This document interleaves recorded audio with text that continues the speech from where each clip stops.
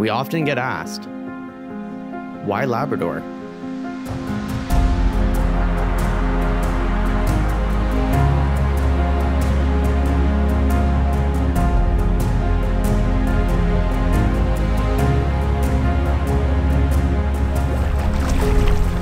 We like to think that once you see, you'll understand.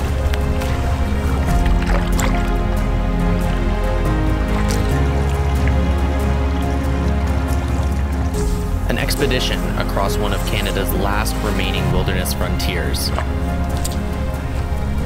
Some of the most pristine and rugged terrain this country has to offer.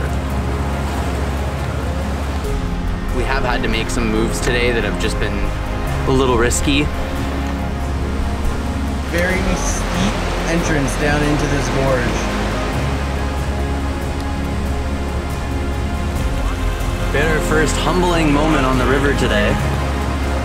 Definitely something that uh, we want to be a little bit more cautious of as we continue on. Crunch down in the back corner of my mouth. Out came two pieces of my teeth. Lean right, lean right, lean right.